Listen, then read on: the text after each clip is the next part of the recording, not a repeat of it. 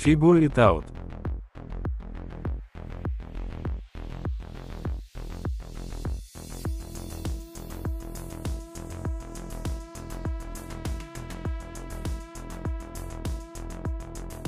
We've come with peace.